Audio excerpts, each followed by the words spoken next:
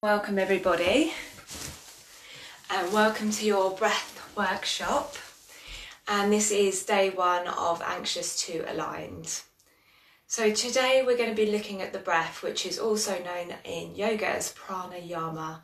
So that's just the Sanskrit word for breath meaning the extension of the breath. So prana meaning energy, meaning life force and a yama meaning to extend, to draw out or to control.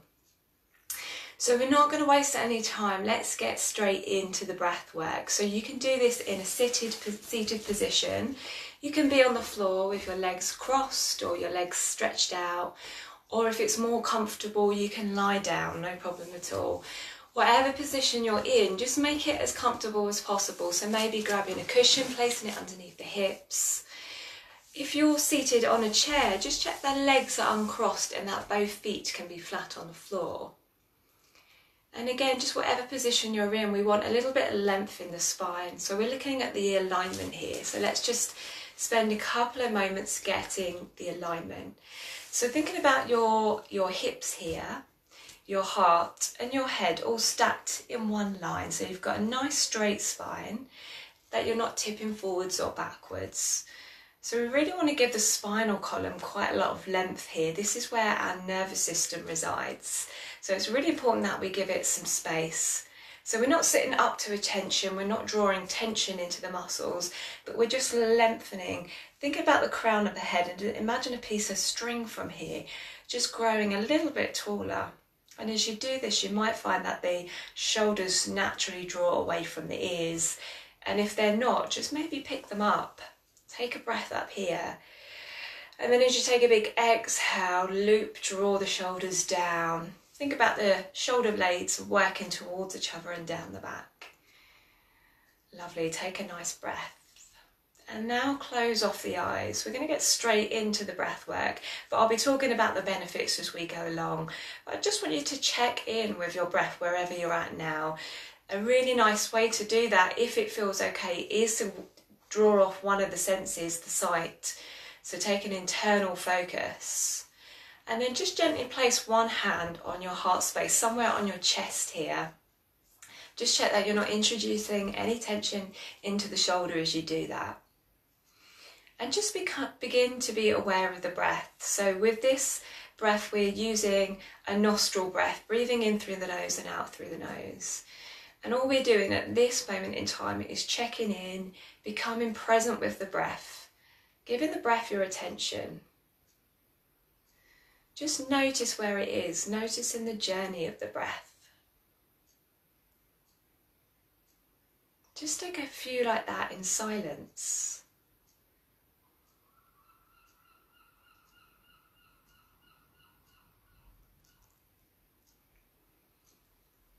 And staying with the eyes closed, let's just check in. That breath for me is quite high up in my chest. So I can feel my chest rising up in my inhale and then my hand moving back down and inwards as I exhale. So I'm just chest breathing. And that's really half breathing. We've got our lungs down here inside our ribs, and we've got our diaphragm muscle, which is this dome-shaped flat muscle that lives underneath the lungs. So if I'm only breathing up in my chest here, I'm ignoring this region and I'm not using it. So I'm only half breathing. And because our body and our mind are connected, we're sending a message straight to the brain to say we're in a lack mentality, there's not enough breathe, uh, breath, there's not enough air, and we begin to shallow breathe and over breathe. And really the medical term for that is hyperventilate, uh, um, hyperventilating, there we go. Um, so we're over breathing and we're sending a stress signal to the brain.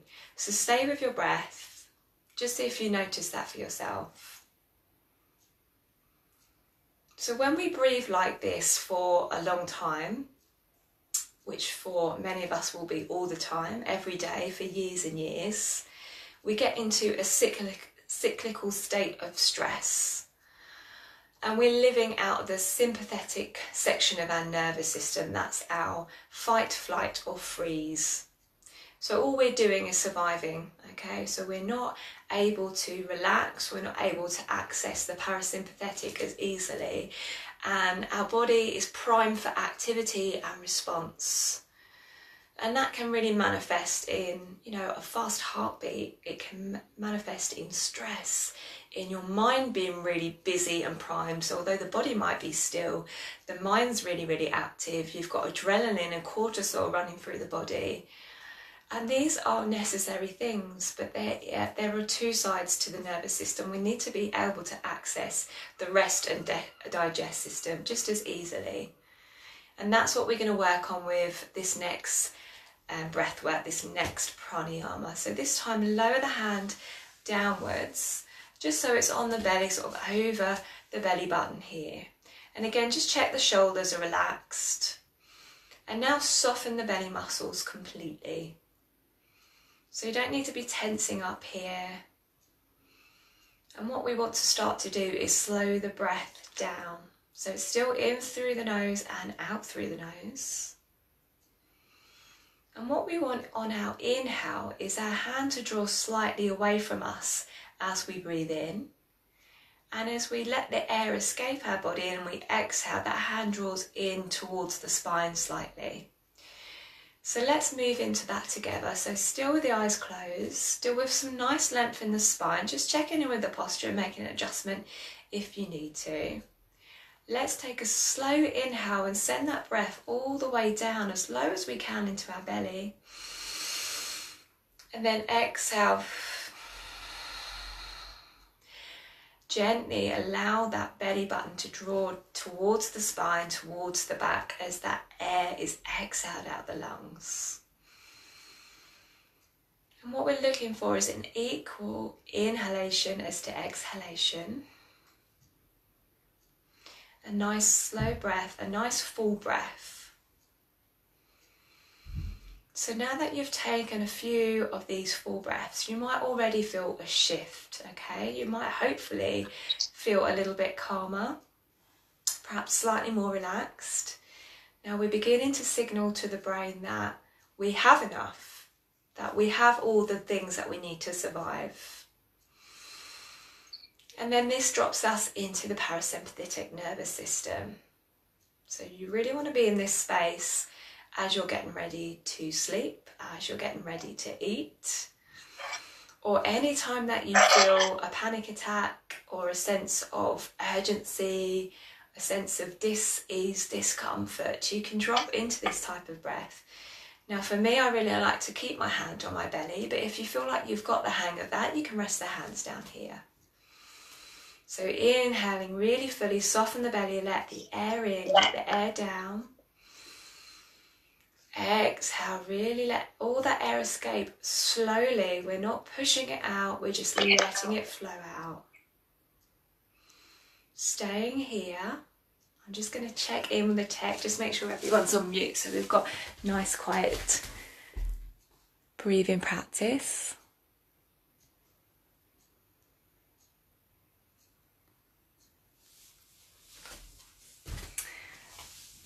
So if this is working for you, we can stay with this breath awareness. But for some of us, we might find that despite doing this practice, the mind is very busy and active still. So I'm just going to invite you to add another layer, maybe try it. If it doesn't work, drop it, just come back to the breathing. So we can add a mantra in. So mantra, mantra is just repetitive um, sentences or repetitive words. So I'm going to give you two options here. So staying with that breath, maybe the hands on the belly, maybe it's coming to rest down here. So the mantra is I am calm and all is well. So we can take an inhale and say, I am calm, and an exhale, all is well. Inhale, I am calm. Exhale, all is well. Inhale, I am calm. Exhale, all is well. And then let me just go into silence and allow you to explore that mantra inside your own mind. Keeping the journey of the breath awareness, making sure that the shoulders aren't raising up, that the air is just moving into the belly. Now, if that mantra doesn't resonate for you, we could work with another mantra, and it's a really simple one. I am breathing in strength. I am releasing tension with the exhale. I am breathing in strength as you inhale. I am breathing out tension or stress or panic, whatever word resonates with you as you exhale or just I am breathing in, I am releasing. I am breathing in, I am releasing. So just go into silence and repeat the mantra in your own mind. And just checking in if that's resonating or helping for you. Let's just take 10 rounds of that breath in silence.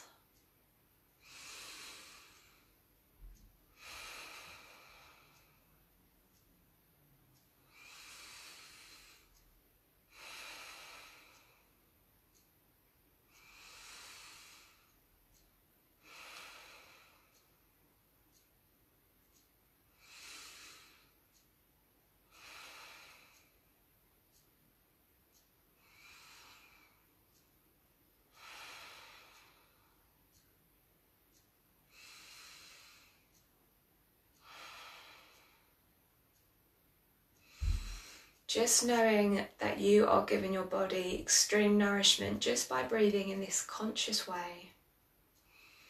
Just focusing all your attention on the breath.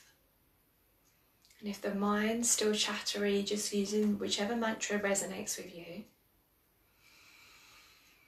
And then just gently let go of that practice now. Just release it. If the hand's on the belly, just release it back to the hand, uh, back to the thigh, or down by the sides of the body.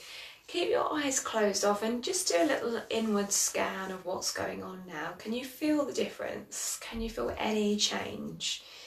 Either in the body or in the mind from when you first joined this workshop. For me, I find it really quick and really powerful, um, especially if I'm experiencing a panic attack or if I'm in um, a situation that triggers me or makes me feel tense. That breathing is fantastic.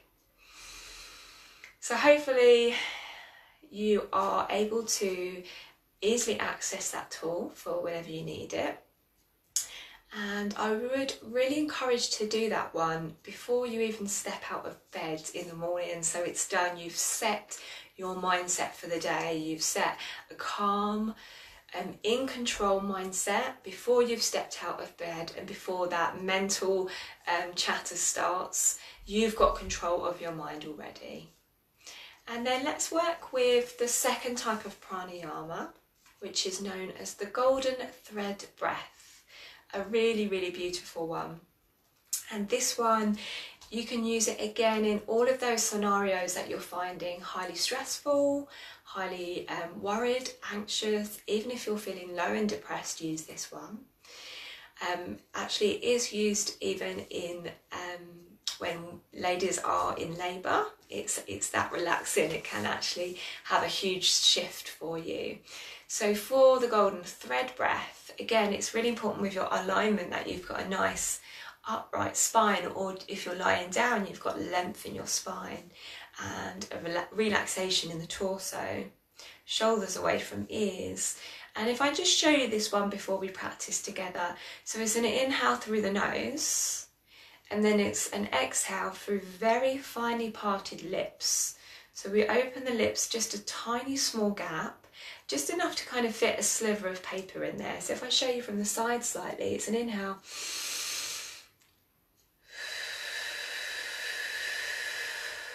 And an exhale through the lips, very, very slightly parted. And what that does is it lengthens the exhale, it really slows it down. So the exhale is almost twice as long as the inhale, and that is working with a dominance on the parasympathetic nervous system, that rest and digest. So that completely calm um, side of our nervous system, which most of us aren't dominating or not even moving into en- enough times.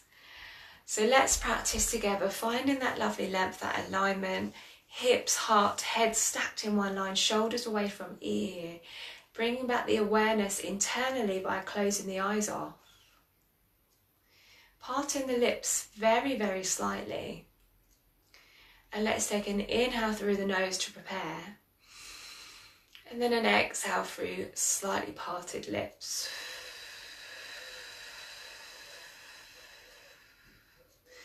Inhaling when you're ready through the nose. And then exhalation through the mouth, through the lips.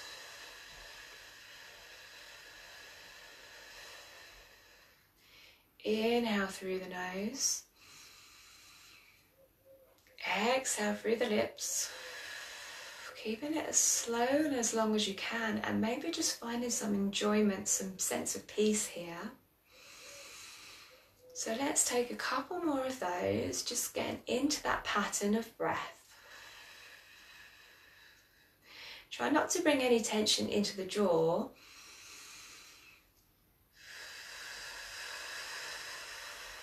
So this is a lovely practice just to continue as you are, but there is another dimension to this. We can bring in a visualization. So it is the golden breath, the name of the practice. And on that exhale, we just imagine a fine golden thread spinning out on the breath, out forwards into the air and away from you. So let's do that now. Take an inhale through the nose. And begin to exhale through the lips. Now imagine that golden thread escaping through the lips, very fine golden thread, and it's moving forward as you blow it out with your air all the way out into the room ahead of you, maybe up to the sky.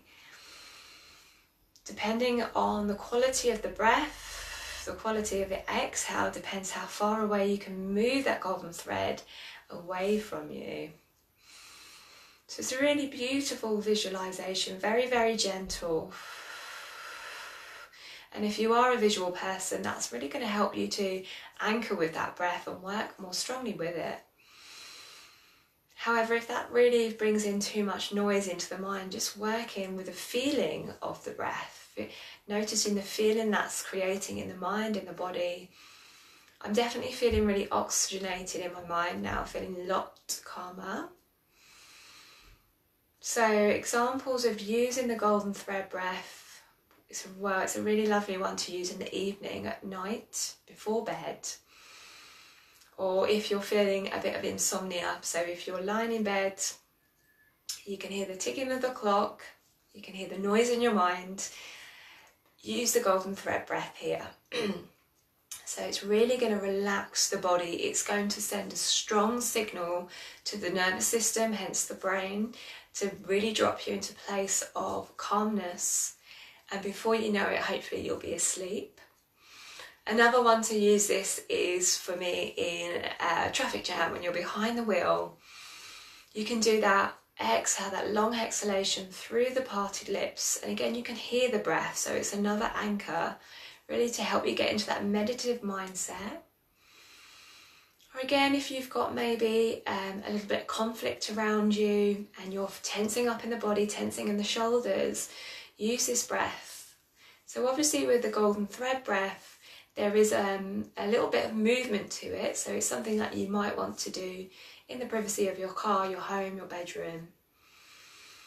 But the abdominal breathing you can do anywhere without anyone even knowing you're doing it. So it's like, uh, it feels quite powerful for me when I've got those tools rather than kind of um, taking a, pill or uh, something that's going to sort of artificially make me feel calm. I know I've got the power and the control to do this well myself. Just taking one more breath with the golden thread.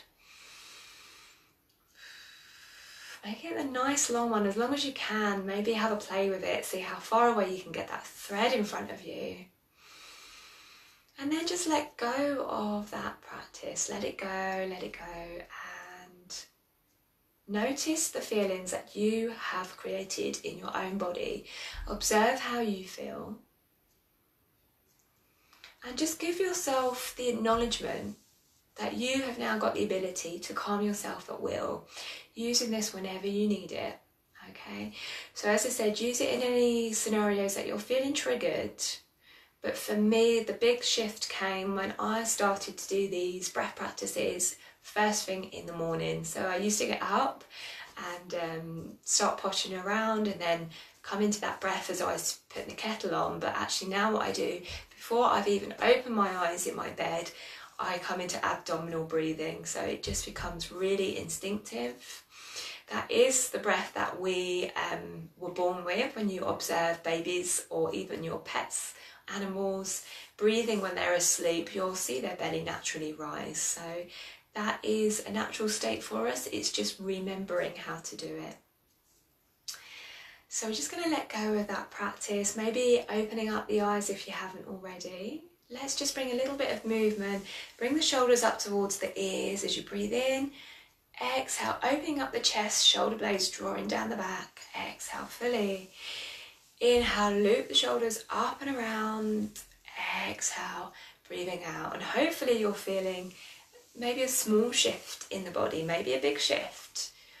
But the accumulative effect of doing that practice as often as you can, so don't beat yourself up if you can't do it every day, if you don't remember, it's no problem. But just when you can remember, it's all about awareness. And then just relax the shoulders back down. So I hope this has been useful for you guys. Give us a comment or a heart if you found that's helped you in any way. If you've got any questions, please feel free to drop them either on Facebook or send us um, a message on email. And um, yeah, I wish you guys a wonderful day and hope that's helped with your anxiety. Namaste.